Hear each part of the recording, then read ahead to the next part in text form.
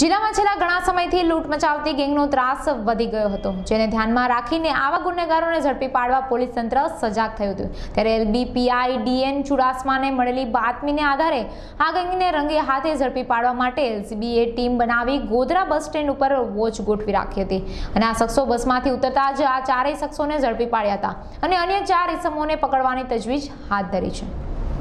અઢાર ઓગણીસ ઓગસ્ટની રાતે સહેરા તાલુકા સહેરા પોલીસ સ્ટેશનના દલવાડા ગામે એક લૂંટ થયેલી હતી, જેની અંદર ઘણા બધા ઘરોને ટાર્ગેટ બનાવીને આઠથી દસ ઈસમોએ લૂંટ કરીને આતંક મચાવ્યો હતો. જેના આરોપીઓને પકડવામાં પંચમહાલ જિલ્લા એલસીબી સફળ રહેલ છે. ટોટલ ચાર આરોપીઓને અમે અટક કરેલા છે, જેમાં માજુ નબળા માલસિંગભાઈ, રાયસિંગભાઈ, સુરેશ હિમસિંગ અને કિશન અબરુ. આ ચાર આરોપીઓને અટક કરેલા છે. આ લોકો લીમખેડાથી અડાલજ અમદાવાદ તરફ જવાની બાતમી હતી, જેના આધારે તેમને એલસીબીની ટીમે બાતમીના આધારે પકડી લીધેલા છે. જેમાં માજુ નબળા છે, ટોટલ દસ ગુનાઓમાં વોન્ટેડ આરોપી છે. જેમાં પંચમહાલના નવ ગુના અને છોટાઉદેપુરનો એક ગુનો છે. સીઆઈડી ક્રાઇમની જે ટોપ ટ્વેન્ટી આરોપીઓનું લિસ્ટ છે, તેમાં માજુ નબળા છે, ચૌદમા ક્રમનો આરોપી છે.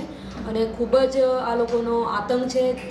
દાહોદ, પંચમહાલ, છોટાઉદેપુર ઇવન અમદાવાદ અને સૌરાષ્ટ્ર સુધી આ લોકો લૂંટ કરવા માટે ટોળકીઓ બનાવીને જાય છે. તમામ આરોપીઓ ધાનપુરના, દાહોદ જિલ્લાના ધાનપુર તાલુકાના અલગ અલગ ગામોના છે, જેમાં આ જે આરોપીઓ છે, સજોઈ, કાટુ, પાવ વગેરે ગામના, ગામમાંથી બિલોંગ કરે છે. હાલમાં આ લોકોને બાતમીના આધારે પકડેલા છે અને પછી સોનીનું નામ પણ ખુલેલું છે જેના આધારે મુદ્દામાલની રિકવરી ટૂંક સમયમાં કરીશું. અગાઉ કોઈ ગુનામાં સંડોવાયેલા કેવું પંચમહાલના? પંચમહાલના આ અત્યારે હાલમાં કોઈ બીજા ગુનાઓનું ડિટેક્શન નથી થઈ રહેલું પરંતુ માજુ નબળા છે વોન્ટેડ આરોપી છે અગાઉની લૂંટ અને ધાડ.